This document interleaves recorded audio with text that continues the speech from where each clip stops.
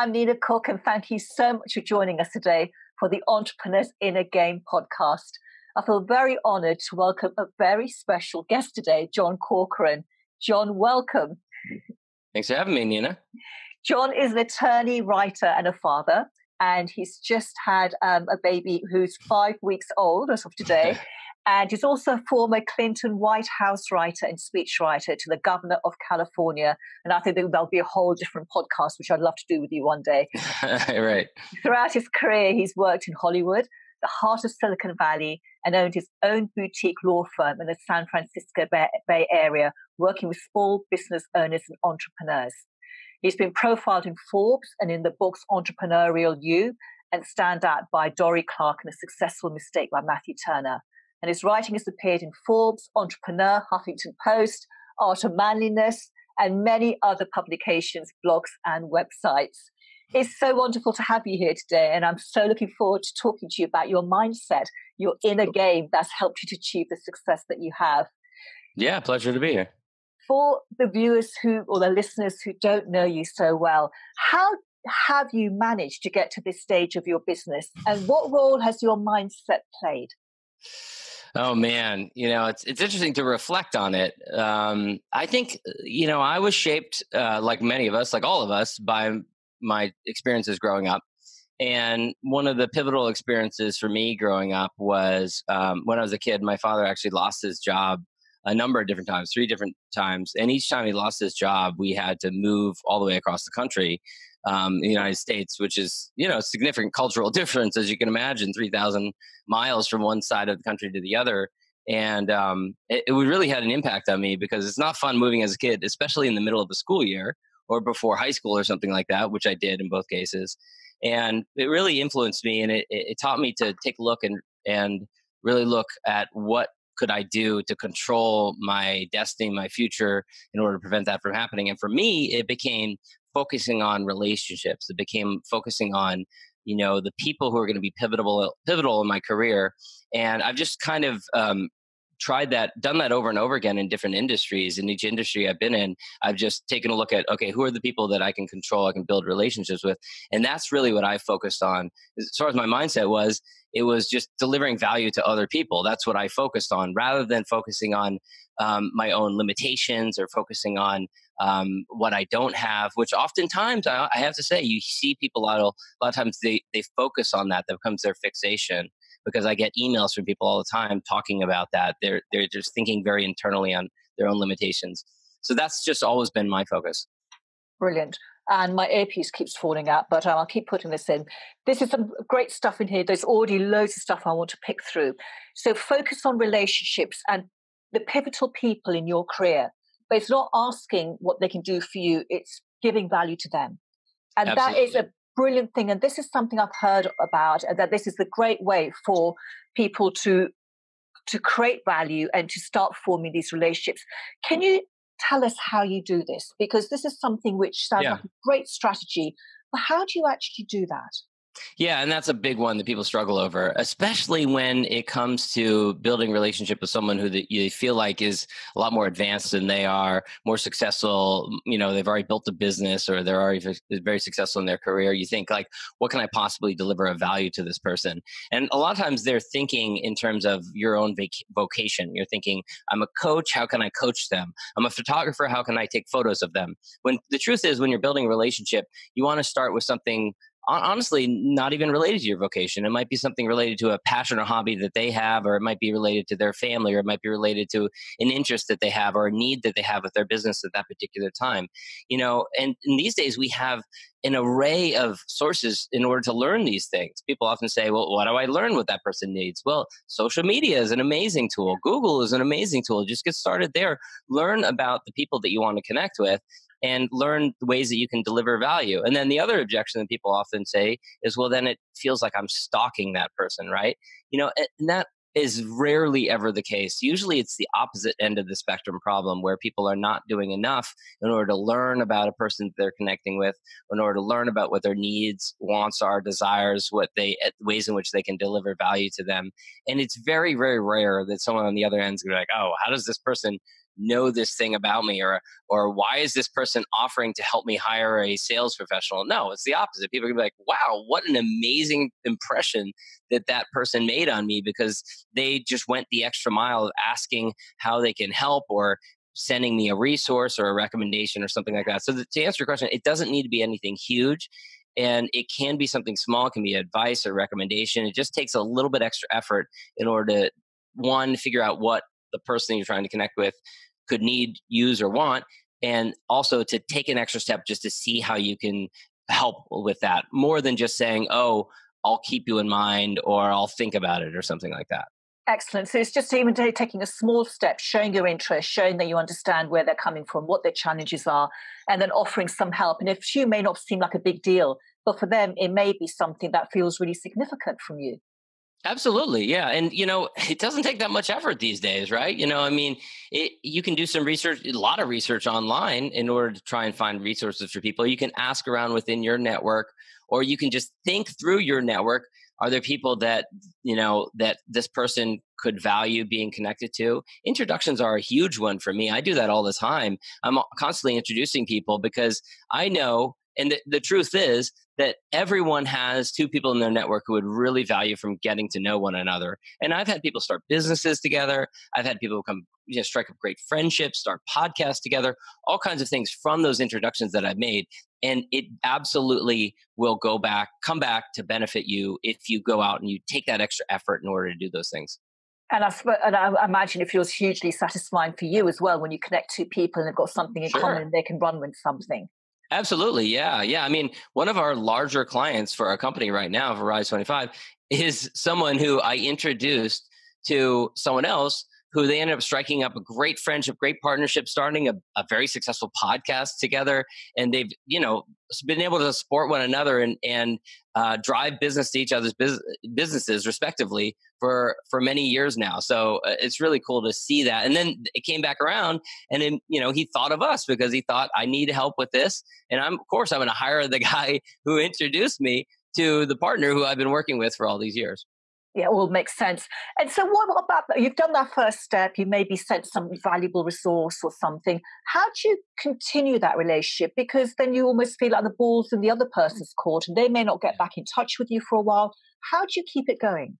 Yeah, I mean that happens, and you know, especially if it, the person on the other end is incredibly busy, has got you know a, a, company to run, family, all those. You know, everyone has different things that are competing for their attention. You know, I've had guests on my podcast who I don't expect them to follow up with me. They're busy; they've got thousands of employees working for them. You know, um, and so it's really on you to follow up with that person and to make sure to deepen that relationship. And, you know, it, it depends on where the person is in the spectrum. You know, I mean, I've had Gary Vaynerchuk, who's a well known speaker, author, entrepreneur on my podcast. I'm not expecting him to follow up with me, and I'm not expecting him to come to a meetup I do in my local community. If I get together with 10 people for coffee or dinners, I'm not expecting to come to that, you know, but if I continue to deepen a relationship with someone of that caliber, of that level, then you know, in the future, if we have the opportunity, we're crossing paths, we might be at the same conference. I might come up and speak to that, speak to that person, Gary or, or someone else at a conference and reintroduce myself and opportunities might flow from there. Or it might be there, there might be an opportunity that, you know, he's a speaker, for, for example. So maybe there's an opportunity where I can introduce him to someone else to come in for a, spa- a paid speaking engagement, which then could lead to opportunities for me. So, you know, it, it, depends on the level that the person is at, and it's it's on you. It's your obligation in order to continue to deepen that relationship. And by necessity, you can't do it with everyone, right? I mean, we meet thousands of people every year. You can't possibly do that for everyone. So you have to prioritize. You have to take an 80 20 approach. You have to decide, okay, who are the higher priority people for my business, for my career, for my vocation, for my goals. And also, you have to use higher le- leverage type of activity. So it can't always be individual texts, individual emails, individual phone calls. Eventually, you have to move towards communicating with people in a one to many fashion or maintaining relationships with people with a one to many fashion. You can go to coffee one on one forever, or you can organize an event where you invite 100 people. That's a lot more effective use of your time. what about the mindset behind all of this? What about the thinking? What about the fearful thinking? They're not going to be interested in me. I'm too small. It's scary to do this stuff. Fear of rejection. What if they don't it come is. back to me? Yeah. All well, first of all, first of all, no one's yeah. I mean, no one's gonna hate you for trying to deliver value to them. No one's gonna like excoriate you for who are you to recommend a restaurant to me, or who are you to like offer to introduce me to someone in in your network you know, who ha- for, is formerly a COO and I'm hiring a COO for my company. You know, no, no one's going to react that way. You know, um, at, at worst, you're probably going to not receive a response or it's going to be a delayed response, which is natural from higher caliber people, more successful people. So it comes naturally with the territory, but I wouldn't worry about it if it comes from a place of sincerity.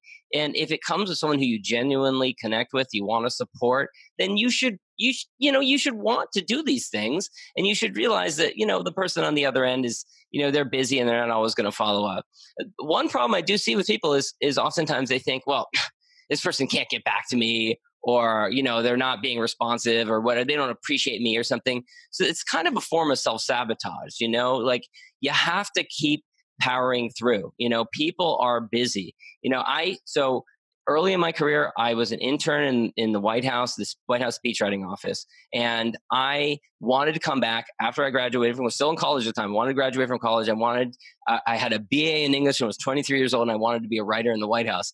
And I went to a party school. How hard are the chances of that, right? But I maintained touch with the speechwriters there who were incredibly busy. They had a lot on their plate. I didn't get offended when they didn't respond to every email or letter or message that I sent to them. And eventually, because of that communication, they came back to me. One of them came back to me and said, Hey, John, I heard about this position. It's a writing position. I know you'd be interested in it. I think you'd be a good fit for it. Told me about it, and I ended up getting the job. You know, so not getting discouraged is really that that is a big part of that mindset. Yes, I completely agree. It's not taking it personally when you don't hear back or when you get a no. It's just, it doesn't matter. That was a no. There are plenty more people I can try. And I've used this example before, I know, but when I reach out to people for my podcast, I pick out the people I want to interview who I feel are going to add great value, and I send out emails. So I yeah. sat down one day, I looked at the top 20 online entrepreneurs and I sent out an email. They don't know me. Please, can I, you know, can I interview yeah. you? I think you'll have great value. I knew most of them would never get back to me. I knew some some of their PAs will get back to me, say they're too busy. But I had a couple who said, Yeah, let's do it. Yeah. So I did, and a couple of others actually emailed me back after a few weeks, said, Sorry, I've only just seen this email, and apologized for not getting back to me sooner. Yeah. So you never know when you put stuff out there what's going to come back to you. And I look at it very much as a game. Let's just play this game of sending out emails, see what yeah. happens. And as you said, it's an 80 20 because most of the people will never get back, but you'll get some really great contacts and that's it's, what it's all about. It's just playing the yeah. game, isn't it? It's a numbers game too. I mean, it's you have to put. A, yeah, I mean, my sister-in-law, I love her, but I remember when she was in her early twenties, she was looking for a job and one summer, and she like put in an application for one place, eh, a bookstore or something like that, and then waited. You know, it's like she was waiting for that one position. You can't do that. You know, you got to put you got to put out multiple different feelers and some of them will come back. And this never ends, by the way. You know, I mean, I hope no one's watching this is thinking, you know, oh, John and Nina, they got it made now. They don't need to, you know, do any more of this stuff. It continues to this day. And right now, I'm writing an article uh, with a, a co author, and we're reaching out to this is actually, I'm doing this a little bit as a test so that I can report back to others on the results for it. But I'm reaching out only to C level uh, um, executives, so CEOs, CMOs, that sort of COOs, that sort of thing, at employ at companies with over 10,000 employees, 10,000 employees, okay? And I'm sending out messages to them to, to interview them for this particular article. And I, I just, I'm fully well aware that I'm going to send out hundreds of messages in order to receive a handful of them back. But it doesn't matter because, you know, a couple of them is all I'm looking for, you know? And I've already gotten back a couple of them. You know, I've gotten, gotten some messages back from people and I, I take a look at them like, wow, they got like 12,000 employees in this company. How yeah, this person yeah. And it baffles me, you know, I'm like, yeah, yeah. like, I can't believe this person getting back to me. But you know what? I mean, that's what perseverance does. And mean, per, you persevere past, and then you forget about all the rejection. You forget about all the f- people failing to respond, and and you know, and you just have that one great connection, and it's all worth it. And it's being able to take a no and know that a no is just a stepping stone to a yes. And when you stop yeah. taking those personally, it just it it's almost like it's a game changer because suddenly yeah. you just have this freedom, this courage, resilience to keep reaching out again and again. And the more you do it, the easier it gets. And and as yes. you say, you never know who's going yeah, to and I, and I would encourage you to do something that will test your resolve with regards to no's. So some people, you know, that might be you have a favorite charity and you go and you volunteer to um, participate in a pledge drive and make cold calls to people. Uh, as a kid, I was very involved in politics, you know, in, in uh, my adolescence and in college years. And I went door to door you know, door to door, knocking on doors for candidates, sometimes in very bad neighborhoods. And, you know, you have people that slam the door in your face. You have people who refuse to talk to you. And, you know, it's just dust yourself off, go on to the next place, you know? And that's really what makes a difference is just dusting yourself off, not taking it personally, moving on to the next one. And even doing that in some other area, like that's why I say doing it for like a charity that you care about. Uh, it will steel your resolve and it'll make you realize that okay it's not the end of the world if i get rejected and it'll make it easier for you in the business world yeah, I, I couldn't agree more. So for you, when you when things don't work out for you, how do you handle that? What's your thinking around that? How do you yeah. how do you get through that bit? Yeah, you got to give yourself a roadmap and you got to focus on putting one fit in front of the other and not dwell on the negativity or the um, the failure or the setback. So, you know, for me, after I worked at the White House, I went, I wanted to move back to my home state of California.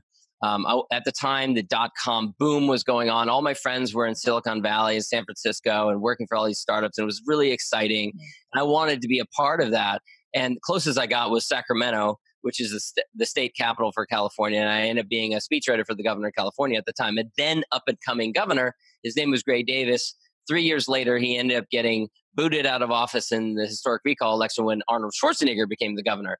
And it was unprecedented. And I was out, you know, I was like, you know, my mid 20s and I was, you know, went from here to here and lost my job and had to find a new job and everything. And I just focused on what I'd done, which was building the relationships. And I looked at my network, looked at the people who I'd worked at, you know, who I'd maintained relationships with. And I was very fortunate that I was basically able to walk out of that experience and walk right into another job. And I had some colleagues who, frankly, were out of work for six months or more because they hadn't done a great job of building strong relationships with people. And so I credit that to helping me to land on my feet um, after I'd had that experience and and move on with my life. So that's what I would say is if you have a setback of some sort, is you know focus on your plan focus on the relationships the people that know like and trust you. Those are the people who are going to be more most likely to come to your side and be able to to help you out. No one likes it. You know we've all experienced those you know, those experiences where you get an email from someone and it's like hey haven't heard from you in a while. How you doing? or haven't talked to you in a while so i uh, lost my job and i was wondering if you know of any jobs and i part of me feels bad the other part of me feels like look what have you been doing you know, like you're reaching out to me when you need something now, but you know, you didn't do any legwork. You didn't put in any effort in order to build that relationship when you didn't need anything. So remember that. That's an important lesson. Yeah, too right. And how how do you pivot your thinking so it doesn't go doesn't run into the negative? You know, you don't go into that downward spiral which can suck a lot of energy right. and time out of your business how do you yeah. keep yourself pivoted your thinking right. pivoted to the you know to the positive stuff and looking ahead rather than looking right. back and and you know, getting into a stew about stuff Right, right. I, I mean, I personally, I believe you know taking care of yourself is important. Um, exercise is important. As a parent of four kids, I don't do enough of it, but I bike to work. Um, that's how I get my exercise. I bike to work and back. Um, and you know, putting good things into your body, not uh, drugs and alcohol. Um, you know, trying to be trying to eat healthy. Um, uh, you know, I, a few months, was a year ago or something like that, I started to get into meditation. Um, meditation is amazing. I don't do enough of it. I agree. Uh, but it, it is an amazing way of giving you clarity around your mind and remaining positive. Practicing gratitude is another big one. I have I I made a planner for myself each day. I fill it out um, when, I, when I get into the office, uh, like writing down like what my plan is, what I'm going to get accomplished that day, what's on my agenda, and it starts with three things I'm grateful for. Mm. That's in the top left hand corner. Um, I'm not. I didn't invent this you know and and many people will say this but practicing gratitude is just an amazing um, tool for remaining positive yeah and I'm the same. In my morning ritual, I always look at what I'm grateful for and write down what I want to achieve for the day. It's also having a vision, isn't it? And keeping your eye on that rather mm-hmm. than thinking, well, that didn't happen and this didn't happen and that means this and that about me. It's it's keeping that vision in in mind and that can yes. be quite um, a challenge, can't it, in the day to day, in the day to day, what should I say, uh, being an entrepreneur, right. day in day out, bringing in business, yeah. serving your clients, doing the marketing, and all of that. It can be quite hard to keep your eye on the ball. It can, right? Absolutely. Um, you know, the other thing I would recommend, and this is a great piece of advice, which I got from my friend Kevin Waldron, um, who's a business coach here in the Bay Area. Um, take the the the first very small micro step that you can towards achieving those larger goals. So, you know, I remember him giving this example a number of years ago. He had a client who wanted to do a round the world cruise, which just seemed so unfathomable fathomable to her. Um, you know, like it was going to be like many months long and you know it was just this big dream that she harbored but she never got anywhere closer to it and he said, Well, what is the first small step, smallest step that you can take to move in the direction of achieving that? And she said, Well, I guess I could do a little research on on what are the different options the prices the timing when it when it departs. And just that one small little thing is going to give you that feeling of a little bit of satisfaction. It gives you that that achievement as you're moving in the direction towards these larger objectives um, you know, it's like setting aside five bucks a month in a, you know, or 50 bucks a month or whatever the dollar amount is in, in a separate account that's moving towards, you know, purchase of something, you know, whatever it is, a dream vacation or something like that. That is just going to make you get that feeling of achievement. So I recommend doing something along those lines, just those yeah. little micro commitments. And when you take a step, then you can get some some extra propulsion, can't you? And Absolutely. that can help you start moving up and up. Builds momentum what would you say to anyone who's listening and watching about how they can start leveraging their thinking? So, you know, they've been thinking a certain way, getting certain results. How can they start thinking bigger so they can start taking bigger action in their business? How can you make that leap from where you are currently to start thinking, actually, I could start, you know, gathering a bigger team around me. I could start, right. you know, asking for bigger, higher prices. I can start working with a different caliber of client. Right, right. Well, I'm a big uh, proponent of setting goals and breaking down those larger goals into smaller, achievable goals. Um, and a lot of people, um, they either set way too large goals, um, or if they set large goals, they don't break them down into uh, certain steps along the way. You know, so I'm a, I'm a big fan of Elon Musk, the founder of Tesla and, and PayPal and SpaceX.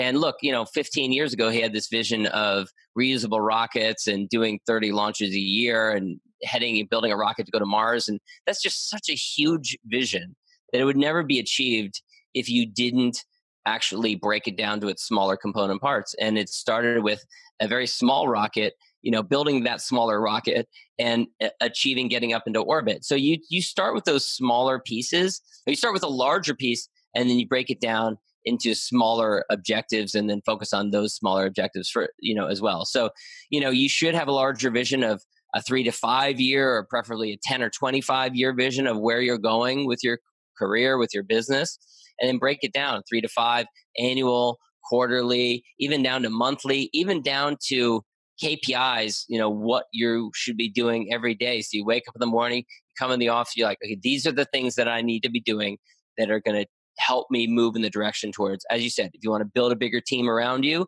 okay what's the first step? Maybe the first step is draw you know drawing up a job description putting that job description on different job boards putting it on your social media on your linkedin and then starting to collect all of those results and then looking over the results and seeing who's a good fit. That's you know that's a way of kind of breaking down and just taking it into its smaller component parts I like that because it doesn't seem overwhelming, does it? If you look at a big goal, you think, I can never do that. It's just too much. I haven't got time to do that. Yeah. If you break it down to small goals, then you can do it step by step and start seeing progress. Before you know it, you could be halfway there. Exactly. That's exactly. a really great way of doing it.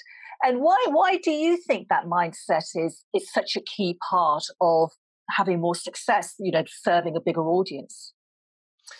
Um, Eh, because the alternative is to either not set big enough goals for yourself or set large goals for yourself and to have no roadmap, have no plan for achieving it. And, you know, just like any journey in a car, you want to go to somewhere, you need a roadmap.